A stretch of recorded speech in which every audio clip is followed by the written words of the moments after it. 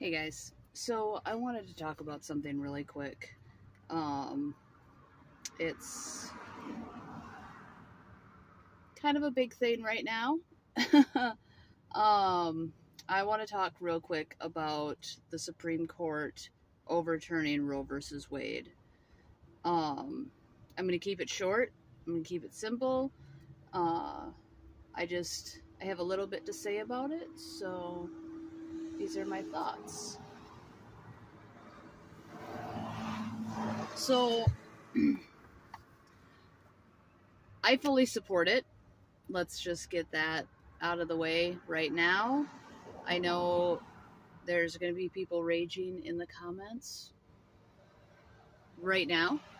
Um, if you see this, I mean, you know, it's not like a bunch of people are going to see it. Anyway, so that being said, I support it because I believe that the government does not need to be in our business. I think big government needs to stay the fuck out of our business as a whole. Um,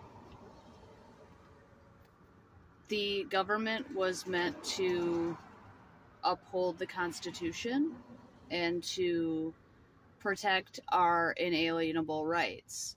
You do not have an inalienable right to an abortion. You just don't. Um, you have the right to protect yourself.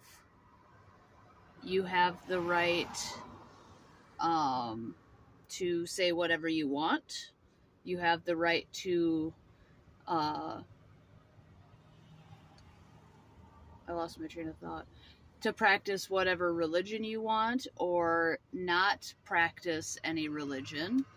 Um, but you do not have the right to harm another person, which technically abortion does. That being said, I am pro choice and I'm also pro life. Let me explain. I think abortion should be available for those rare instances where a, a woman is raped or you know if incest is involved or if it's a child becoming pregnant. Like i started getting my period when i was 10 years old.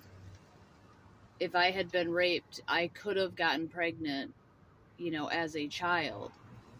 Uh, so i do i do think that abortion should be an option in those cases. And I know they are rare. I know that doesn't happen very often. It's like less than 1% of the people, of the women who get abortions, um, you know, are rape victims or victims of, you know, pedophilia or incest or anything like that. Uh, and I'm pretty sure that there's already clauses in the states that ban abortion for uh, if it's medically necessary, like in topic pregnancy, they you know, mother's life is in danger, and there's no chance that the baby can develop in the fallopian tube anyway.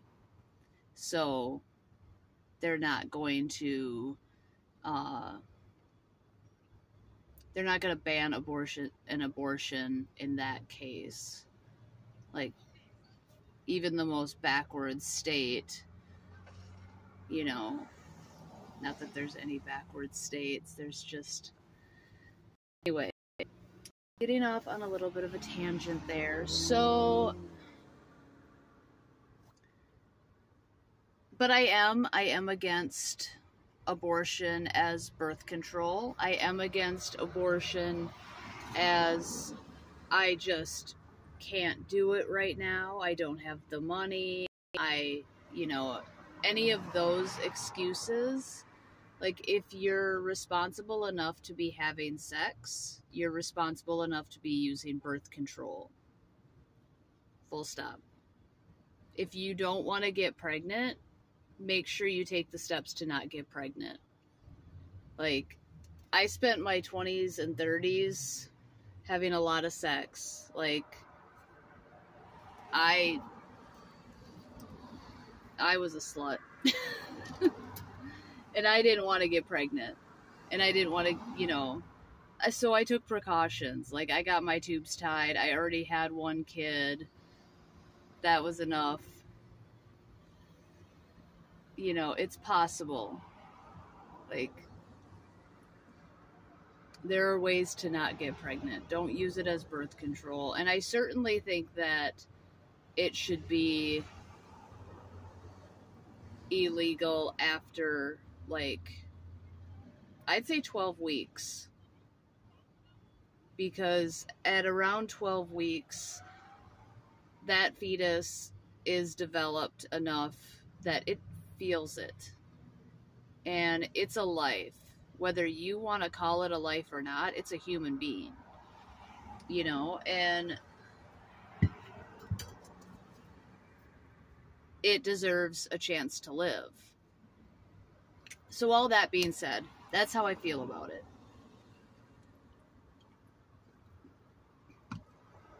I agree with SCOTUS overturning Roe versus Wade because the federal government should stay out of our business. The way our constitutional republic was set up, it was set up so that the states could govern themselves. And that's what this is. Abortion has not been banned on a federal level. They are not coming after your birth control. They're not coming after your contraception. People have been screaming about that for 40 years. I'm 43 years old, and I remember back in the 80s, you know, my babysitters and their friends screaming about how the government was going to take away their birth control. That's not going to happen. It might not be federally funded. You might have to pay for it yourself, but maybe some of you should take responsibility for yourself. You know, I don't know. Maybe don't rely on the government for everything and it should the decisions should go back to the state for almost everything except for our inalienable rights that are in the bill of rights in the constitution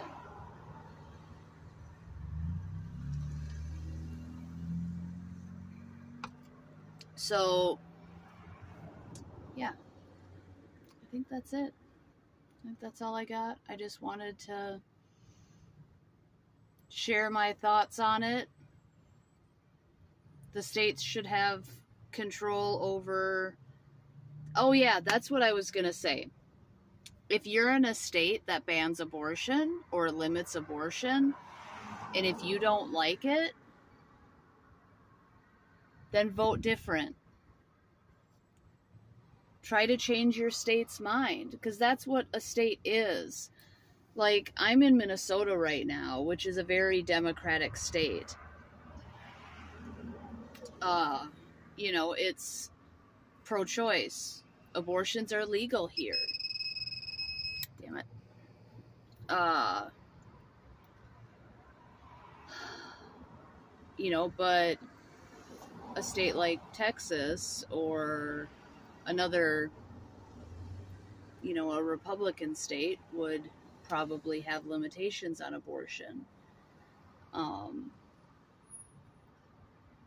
so just, you know, you have options. Move to a state that is pro choice if you want, or vote.